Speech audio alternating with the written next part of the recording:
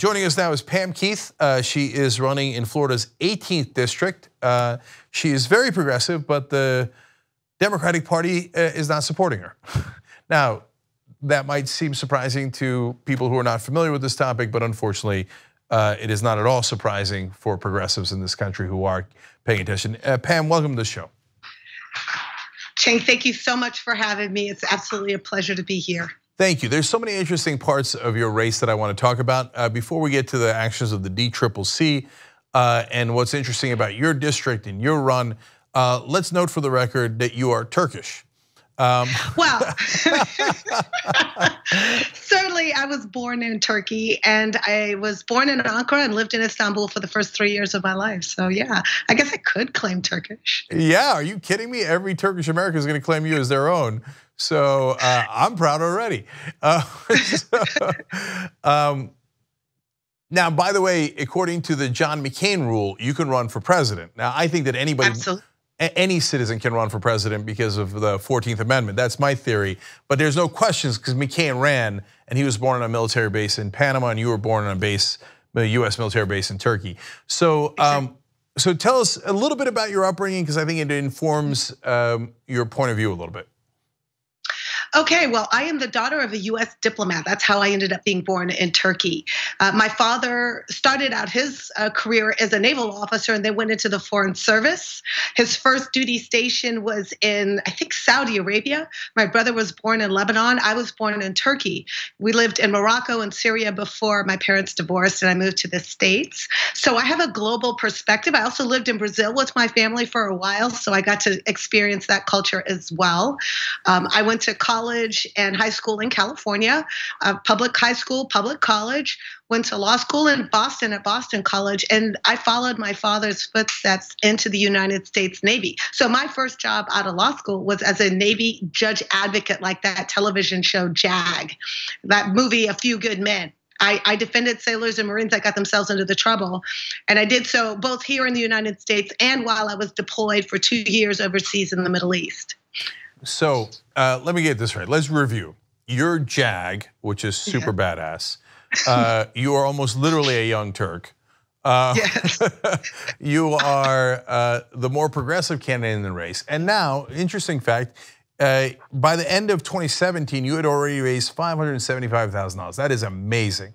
So yeah. if, you know, if the world worked in the way that uh, people on TV think it works. Oh, well, the Democratic Party is filled with progressives and they support the more progressive candidate, then you would have their support without a question. I mean, there's no reason right. not to support you at all.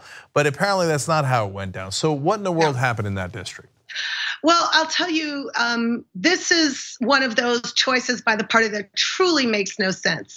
This isn't my first run for office, Cenk. Last cycle, I became the first African American woman ever to run a qualified campaign for United States Senate statewide in Florida. And I had basically no money. It was me and my car and a couple dedicated people helping me out. I got 174,000 votes with no money on the strength of my passion, my ability to engage people, my ideas, uh, the strength of my advocacy. So I proved that I could turn out voters and I could engage and excite them.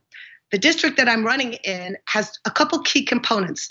It's not predominantly African American, but it has an African American population that has to turn out in extraordinary numbers in order for the district to be won by Democrats. It's simply no math otherwise. Uh, so you would think that an African American candidate might be a good idea.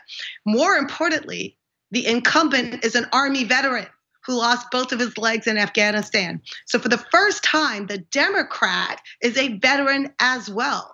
Not only can I go toe to toe with Brian Mast on any claim of patriotism, any claim of sacrifice, but I also outrank him. And you think that that would come into play too. Uh, but at the end of the day, the party went with a candidate whose main claim to fame is the $250 million a year that a family family's business brings in in revenue. I can't compete with that. I never could and I never will. But the people of Florida 18 are responding to a positive, progressive, and passionate message. And that is why I'm not just competing, I'm leading this race. So, Pam, it's impossible not to root for you, right?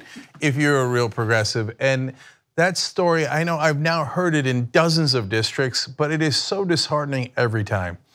So here you have, and, and I understand the context perfectly 174,000 votes in, the, in Florida with no money at all. No, is, no, no, money at all. And, and remember, back then, when she, in 2016, there is no Just Democrats, there is no Our Revolution, there's exactly. no almost no institutional progressive support, let alone Democratic right. support.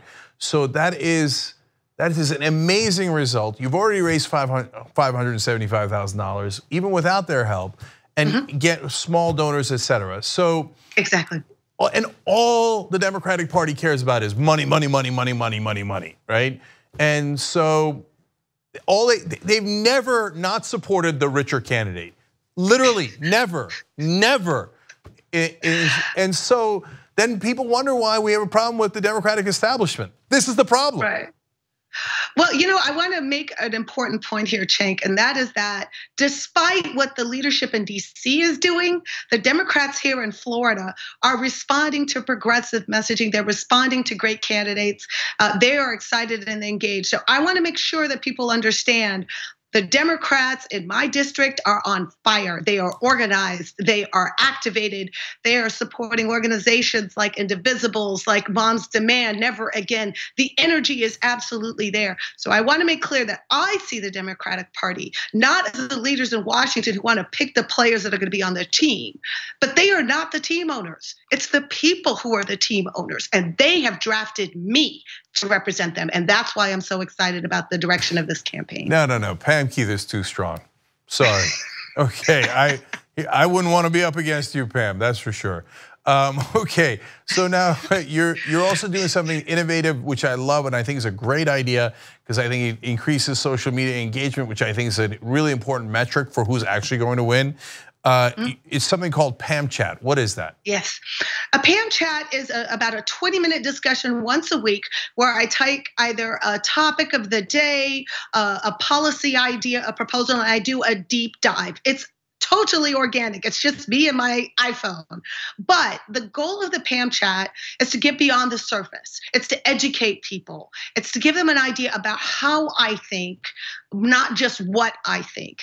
Uh, because the the problem that people have is they feel like they're voting for people that stand for their values then when they actually get to washington they become lazy legislators that just kind of go with whatever the lobbyists give them i am not a lazy kind of thinker um, i'm a i'm a much more organic um, thoughtful kind of person. So I don't just want to talk about value propositions. Anybody can say, I stand for justice and freedom and opportunity. Well, who doesn't? That's not saying anything. But if you really want an idea on how to handle gun reform, I will put a proposal and explain why that proposal can work.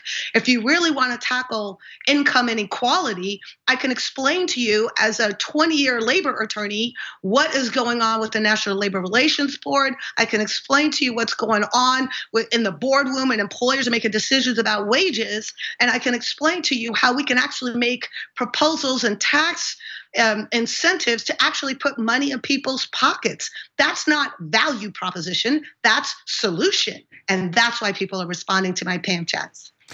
All right, uh, and uh, give us a sense of um, your state of volunteers and mm-hmm. and uh, the energy that your campaign has. It's beyond remarkable, Cenk. We have 450 activated volunteers. You can't go anywhere in our district without seeing Pam fans. We're canvassing all over the district. we have people showing up everywhere. I love it. I, you know, I I am a woman of faith. I I go to churches of every stripe every weekend, not just to pander or to politic, but to to be there in fellowship with people of a variety of different backgrounds. And the reason it doesn't come off as pandering is because it is authentic. Um, I, you know, I understand from which from whence I get my strength, and it animates everything that I do. Um, and and so people can relate to that. There's truly no kind of person I can't relate to, be it a veteran because of my veteran background, be it somebody who's come from a difficult economic situation. My parents divorced when I was young, and my mom was on food stamps for a period. Be it somebody that uh, that is struggling to find work. I, have been in that situation before. Yeah. I've had great chapters in my life, but I've also had real struggles. So I may have an, a BA, an MA, and a JD, but I also have a PhD in the struggle, and I'm willing to stand up for the people who've been through that. All right, love it. Uh, everybody, electpamkeith.com is the website. Uh, and then uh, if you're watching this later on YouTube or Facebook, uh, you could easily click on the links below in the description box to, to donate, uh, to fight against big money, and to volunteer and be a Pamtivist. Is that what we call it? yes, we can call it that. We call them Pam fans, but Pamtivist works just as well. All right. Sounds good. All right, Pam Keith, uh, thank you so much for joining us at Rebel Headquarters. Really appreciate thank it. Thank you. Hey, I want to say this right. Çok teşekkür ederim. That's amazing. Okay, that's uh, uh, Turkish for uh, thank you very much. Uh, and put a literal young Turk in Congress. Let's go do it.